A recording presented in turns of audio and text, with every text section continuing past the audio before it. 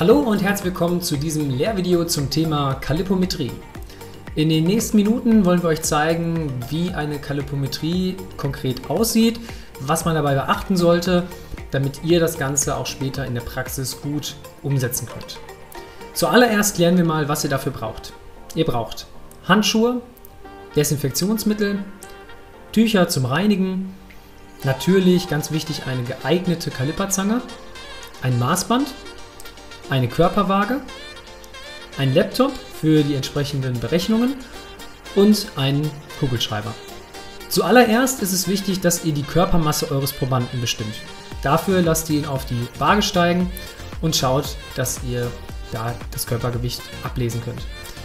Dann ist es noch wichtig, dass ihr die Körperlänge bestimmt, wie hier zum Beispiel ein Rollmessband, um daraus den BMI zu bestimmen. Dann habt ihr schon mal diesen Wert. Für die Berechnung des Körperfettanteils ist es außerdem wichtig, das Geschlecht auszuwählen, was sich in der Regel ja einfach bestimmen lässt. Bei den Kaliperzangen selbst gibt es große Unterschiede. Hier verwenden wir eine sogenannte Harpenten-Kaliper, die so als Goldstandard gilt. Diese Zange wird mit einer Feder gespannt und die Ergebnisse auf einer Skala dargestellt. Alle 2 cm beginnt die Darstellung erneut. Da sich während der Spannung der Feder der Radius, den diese Feder hat, so ändert, dass ein konstanter Anpressdruck auch bei großen Abständen gewährleistet wird, liegt diese Zange bei etwa 250 bis 300 Euro.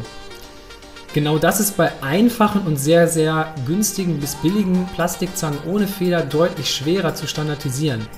Auch das Ablesen, wie ihr hier seht, ist da sehr schwer und äh, trotz des geringen Preises, teilweise einstellig, sind diese Zangen auf gar keinen Fall zu empfehlen.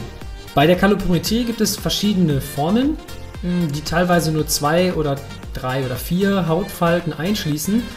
Wir verwenden jetzt hier eine Methode nach sehr, sehr vielen Hautfalten, insgesamt zehn Hautfalten nach Paritzkova 1978. Bevor wir uns aber mit den konkreten Hautfalten beschäftigen und widmen, wollen wir vielleicht vorher noch ein paar grundlegende Dinge klären. Zuallererst ist wichtig, dass die Hygienestandards gewahrt bleiben und dazu werden Hautfalten immer nur mit den entsprechenden Handschuhen gegriffen. Im Sinne der Standardisierung sollte man sich im Vorfeld gut überlegen, an welcher Körperseite gemessen werden soll, denn je nach Sportart gibt es da unterschiedliche Ansätze. Um die Reliabilität zu erhöhen, werden alle Hautfalten jeweils dreimal gemessen und letztlich der Mittelwert bei der Berechnung berücksichtigt. Außerdem sollten alle Anleitungen zur Bestimmung des genauen Messpunkts möglichst genau umgesetzt werden, damit zum Beispiel eine Vergleichbarkeit zwischen verschiedenen Testleitern gewährleistet ist. Der Griff der Hautfalten erfolgt mit einer pronierten Hand, also so als würde man auf die Uhr schauen, und etwa 1 bis 2 cm kranial, also oberhalb des jeweiligen konkreten Messpunkts. Wichtig ist, dass die Hautfalte auch bei der Messung weiterhin festgehalten wird. Die Zange wird dann genau am jeweiligen Punkt angesetzt, losgelassen und nach 2 bis 3 Sekunden der Wert auf der Skala abgelesen. Anschließend wird die Zange zuerst wieder geöffnet, dann entfernt und auch die Hautfalte losgelassen. Dieses Prozedere vollzieht sich für jede Hautfalte dreimal. Im Anschluss an die Messung werden die drei Werte in der vorbereiteten Tabelle notiert. Kommen wir nun zu den einzelnen 10 Punkten. Punkt Nummer 1 Cheek. Diese Falte befindet sich zwischen Tragus und Nasenflügel. Dazu legt man das Maßband an beiden Stellen an und bestimmt den Mittelpunkt, der hier bei 5,5 cm liegt. Die Hautfalte wird so gegriffen, dass diese mit der Längsachse des Körpers übereinstimmt. Punkt Nummer 2. Chin. Diese Falte wird an der Unterseite des Kinns gemessen. Dazu wird der Kopf leicht angehoben, sodass die Haut weiterhin locker bleibt. Auch hier erfolgen drei Messungen mit kurzzeitigem Lösen des Griffs. Punkt Nummer 3. Pectoral oder Chest One. Diese Hautfalte liegt in der Linie zwischen der vorderen Axillarfalte und dem Nippel.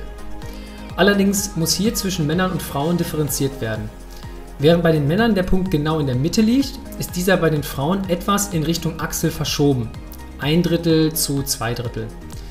Diese Falte wird diagonal in Verlaufsrichtung der Linie gegriffen. Punkt Nummer 4. Chest 2.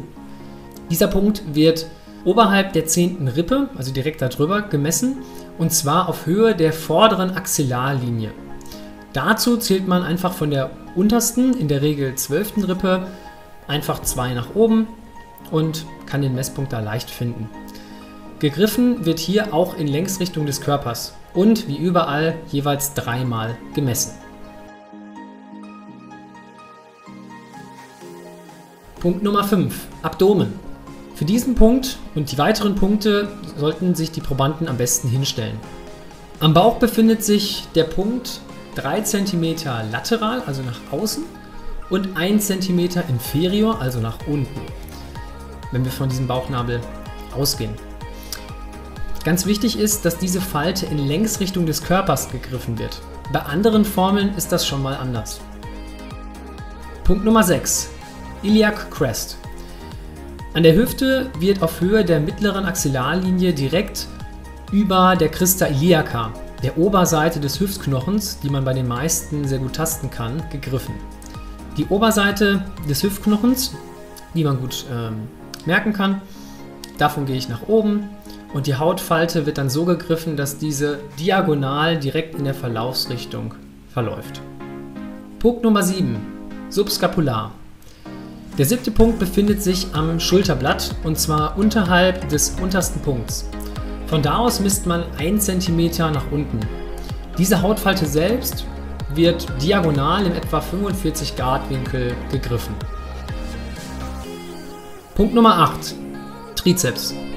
Am Trizeps befindet sich der Punkt in der Mitte zwischen dem Akromion, also dem höchsten Punkt des Schulterblatts, und dem Olecranon, also dem Ellenbogen.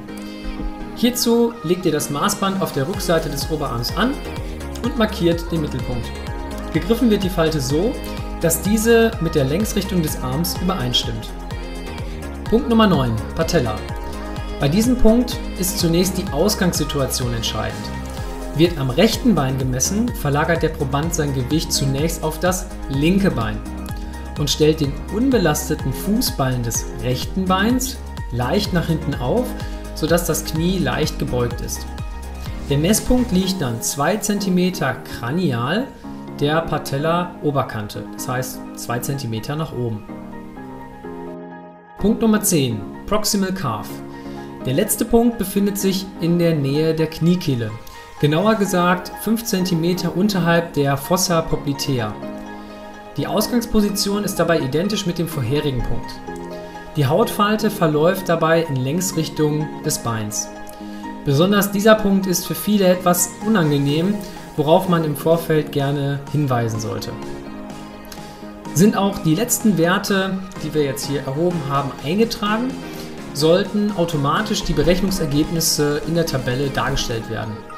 Das betrifft zum einen natürlich den Körperfettanteil in Prozent, die Fettmasse sowie die fettfreie Masse in Kilogramm.